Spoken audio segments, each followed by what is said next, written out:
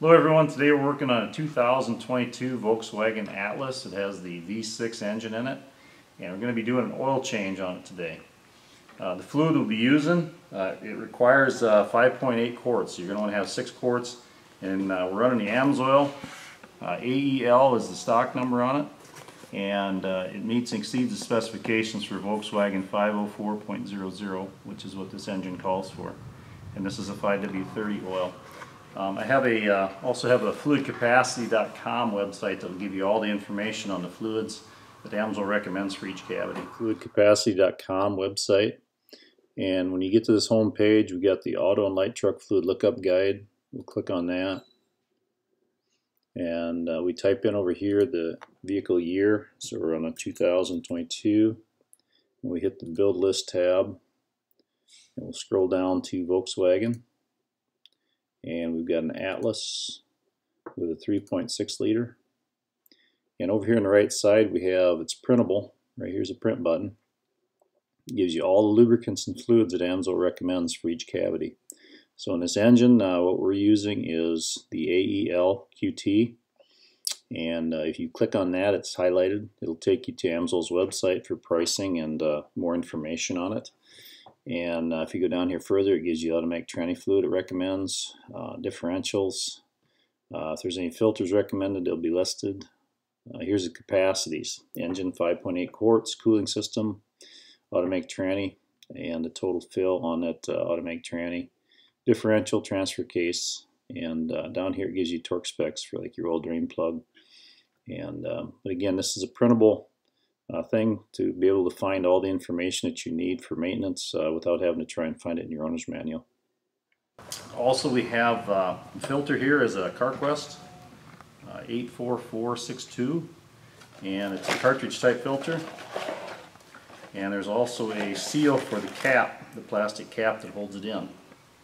So I'm going to show you the, uh, the procedure for changing this oil. There's a, a plastic uh, cover underneath the whole engine compartment and transaxle area up in front. So I'm going to show you getting that down so we can get at the oil drain and also the oil filter. So we'll get started with that. Okay, here we are coming under the uh, vehicle and here's that plastic pan that has to come off. It's pretty good sized and there's I believe 14 bolts or screws we have to take out and uh, these here are uh, right here there's one two three on each side kind of in front of where the tire's at kind of beside it I guess you'd say those are T25. And then uh, I didn't mention this is the first oil change on this vehicle. It's only got 8,800 miles on it. And there's one right here in the center. And if you look at that one, it's actually from the factory. They didn't get it put in all the way. Unless somebody's had this off before, but you can see it's not in all the way. But that screw right there, uh, it's part of that plastic. Goes up in this plastic piece. And then we go on the passenger side, and we've got three more one here, uh, one right there, and one a little further back right there, and those are T25s. Okay, and then across the middle, kind of right at the center where the axle's at, there's a T45 here, a T45 right there, and a T45 right there. And then we go to the back, and there are, you can see the catalytic converters there. There's one, there's actually two on each side, one right here and one over here and the same on the opposite side. So there's two more over there back towards those, those uh, catalytic converters to take off. Okay so those are the screws that you can have to take off total of I believe 14 of them and then we can drop down this plastic uh, piece here and get to the filter and also the drain plug. Okay I'm going to take out this screw here that was uh, loose from the factory looks like. Get that out of the way first it's kind of in a bad spot there to get a ratchet in. And then if you look across here, there's uh, there's actually uh, a tab that goes above and then one below. And then there's another tab right here. It goes above this plastic piece and one here that goes is below. And it does that all the way across. So when you go back together, you're going to have to get it back together with that same pattern. I'll show it to you when I get it down.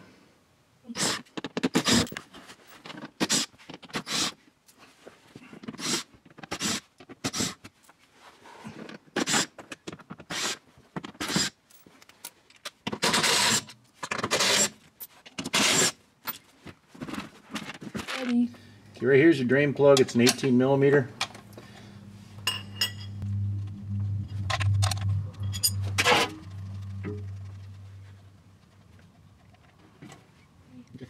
Okay, I've got another drain pan here. Right here is your oil filter. In the center is a, a silver hex uh, Allen Allen head. It's a six millimeter. If you want to take that out to drain out the filter, you sure could. Um, I'm not going to bother with it. I'm just going to take the whole filter off. And that's a 36 millimeter socket to take off that filter.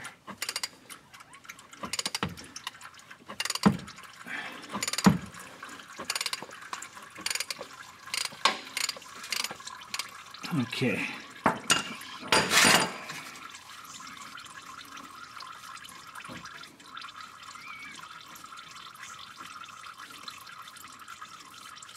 See how much oil is going to come at us here.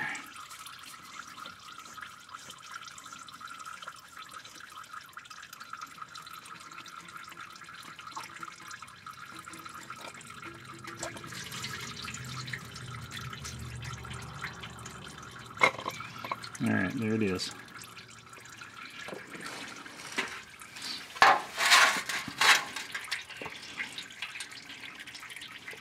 And pull that off. And now we just have the cap. So here's an O-ring here we're going to replace with a new one that comes with the filter. Okay, this is a filter cap, and you can see we've got some uh, some of the break-in. This this is the uh, first oil change, so we've only got about 8,800 miles on it. So there's break-in process going on, but you can see there's a little bit of a little bit of metal in there, kind of flaky stuff, and you can kind of see it down in here too.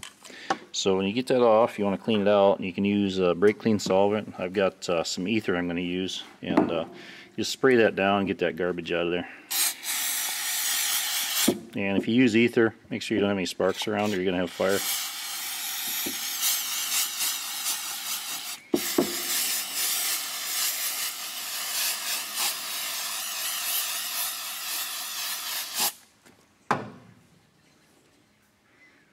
and I can still see a few in there so I'm going to hit it again and I'm going to blow it out. And then uh, this this o-ring here can come off. Take that off and then uh, I'm going to finish cleaning this up and I'll show putting a new o-ring on. But you can still see some metal floating around in there some sparklies. I try and get as much of that out as I can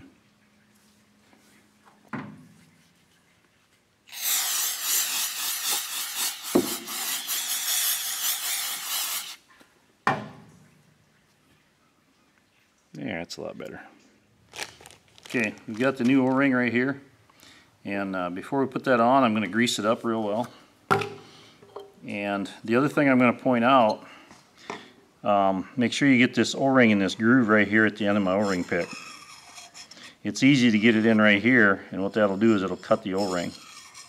Okay, so this groove right here is what you want. It'd be nice if they had two O-rings in. I know GM does that on some of theirs because it gives you a, a, double, kind of a double seal if one of them gets nicked. But on this one there's only one. So I'm going to grab some grease here and I'm going to grease up that uh, O-ring so it goes in nice. And we'll just slip it over. And like I said, it's easy to get it in that wrong groove. Very easy. Okay, you got to make sure you get it down into that bottom groove.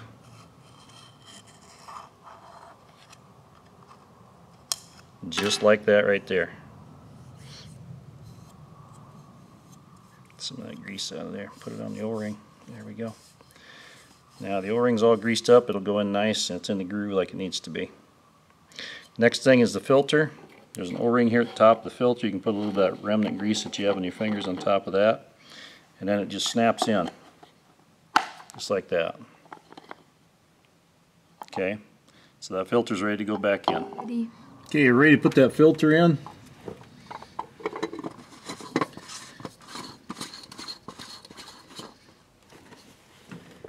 And again that's a 36 millimeter. I'm going to crank it in by hand as tight as I can get it. And this gets 25 newton meters of torque, which is 220 inch pounds. So either or, 25 newton meters or 220 inch pounds. That's it. Okay. Next thing we're going to put in is the drain plug.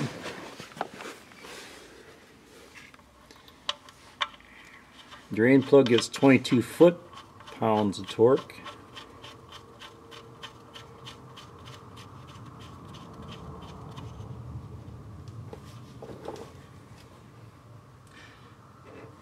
Which is 264 inch pounds. So we'll set that up. So 22 foot pounds on this.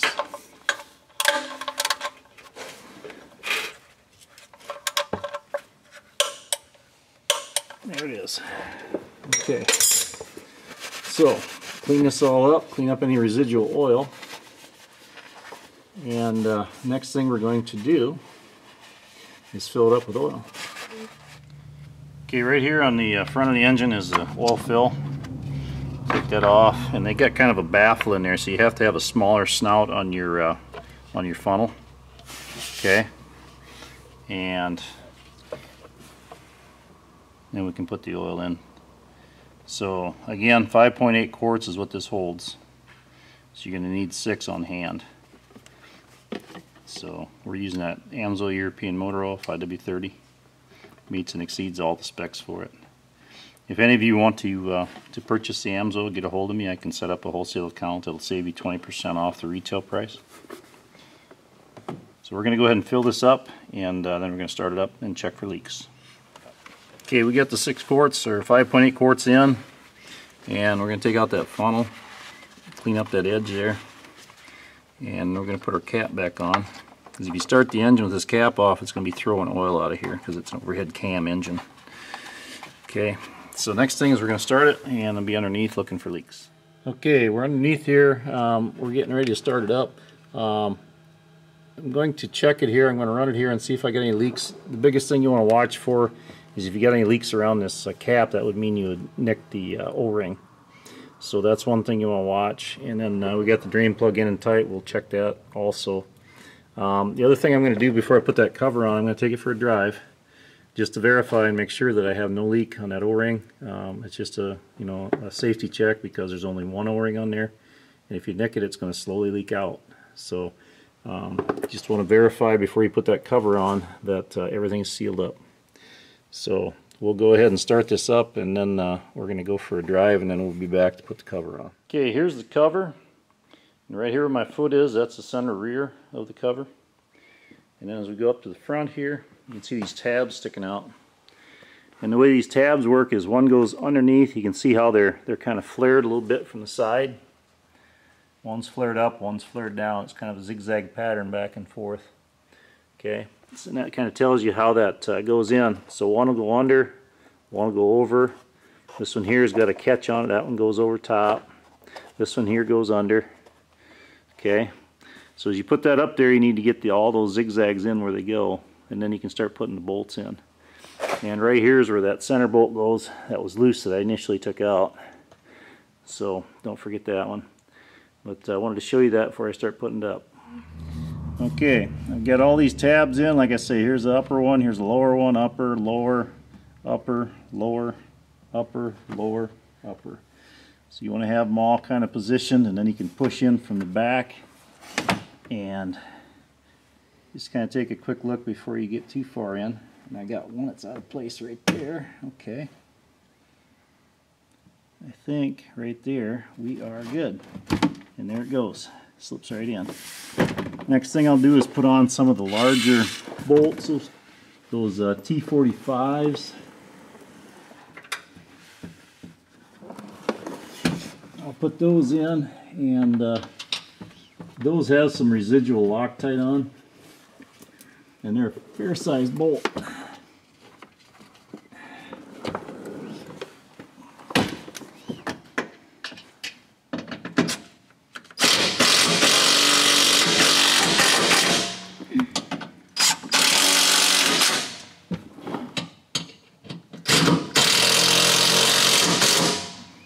Okay, the rest of the ones that go in are the T25s. And uh, this little guy right up here is going to be a tough one to get at. You might be able to get a quarter inch drive ratchet in there and tighten it up. Um, my guess is if your vehicle's been through a quick lube, they probably won't even put it back in. so we're going to put the rest of these on and, uh, and then that'll be it for this bottom cover. When you tighten up all the remainder of these T25 uh, Torx head screws, you don't want to get too crazy with them. Just snug them down by hand. I just use a little quarter inch drive ratchet. They don't have to be terribly tight, just enough so that they don't come out. Because if you go too crazy on it, you're going to start busting the plastic up above here. It's holding the steel clip that it threads into. So. Okay, we've run it for about four or five miles. Got it all up to temp. And check the oil level here. And okay, we're about halfway up the crosshatch marks right there. About the end of my thumbnail. And I put in the full six quarts. So it called for 5.8, but uh, you know we still got a little bit of room there, so it looks like we're good. Okay, we're going to reset the oil change uh, interval light and uh, this here is the owner's manual and you want to turn to page 27 where it talks about the service menu and then uh, page 28 right up here resetting the oil change service okay so what we're going to do is with uh, without starting the vehicle we're going to push the start button bring up the dash okay and we got uh, an OK button in the middle and then we have um, kind of the menu left and right so right there is assist systems and audio. There's telephone. Click it again, we get vehicle status and driving data. Okay, so I believe it's under driving data and uh, hit the OK button. Let's see what we got here. Okay, there's an up and down arrow right here. Okay, this will take us, we want to go to range right there's range and then hold that OK button for about four or five seconds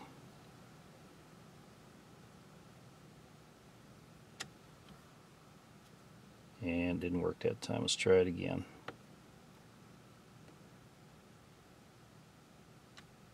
there it is okay this here will pop up it's got service and then we're going to arrow down to reset oil change service and we'll hit OK and we're going to hit that OK again. And there it is. Service interval is reset. So that's it.